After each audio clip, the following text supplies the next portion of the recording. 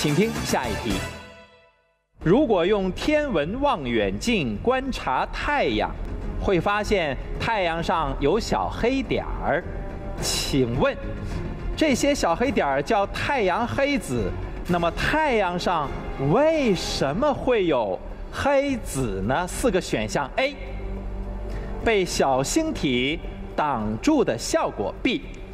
太阳黑子是太阳表面温度比较低的地方；C. 是太阳被其他星体撞伤后留下的痕迹；D. 太阳黑子是太阳表面温度比较。高的地方，二位选手请抢答。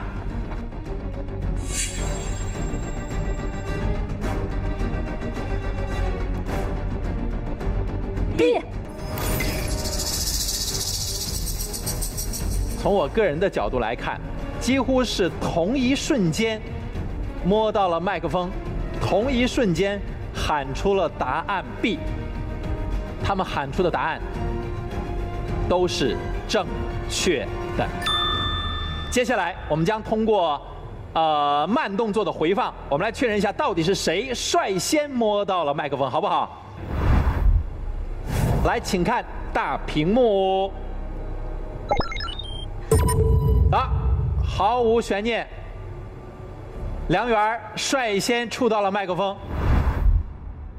这一轮宝贵的一分。加在我们的曲梁园的身上，恭喜！呃，太阳这样一个大的火气球，其实它上面的这个温度分布是不均匀的。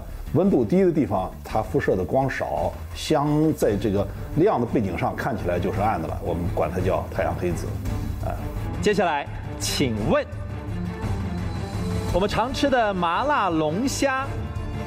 非常的美味，但是你知道龙虾体内的血液是什么颜色的吗？四个选项：A. 红色，B.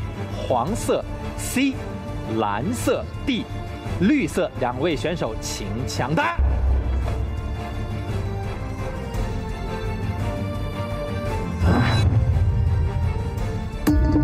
C C 蓝色。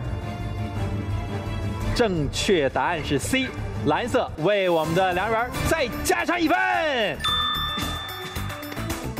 目前五道题结束了，场上比分，男孩和女孩之间是四比一，也就是说，九道题谁率先答对了五分，就将直接取得整场比赛的最终胜率。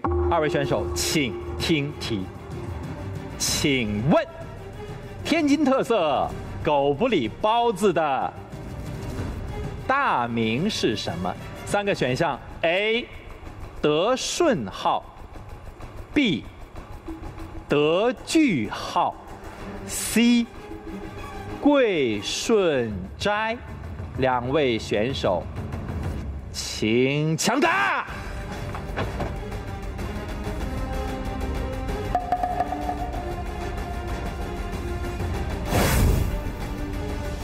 B，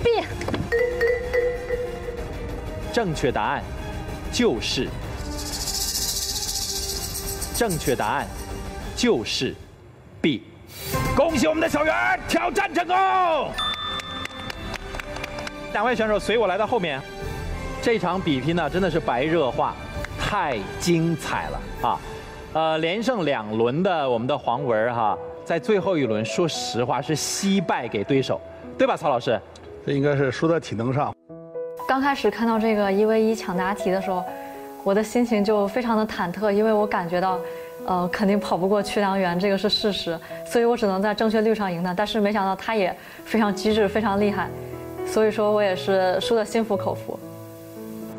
来接过这颗无限之星啊，有什么话此刻要跟我们分享？很感谢那位姐姐。